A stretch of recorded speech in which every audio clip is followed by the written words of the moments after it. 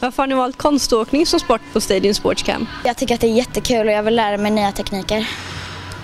För jag vill åka konståkning här för att jag går på konståkning och att jag vill fortsätta träna.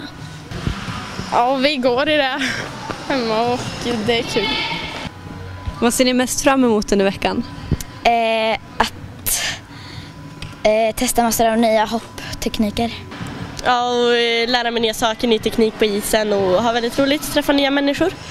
Vad har ni för mål inom konståkning?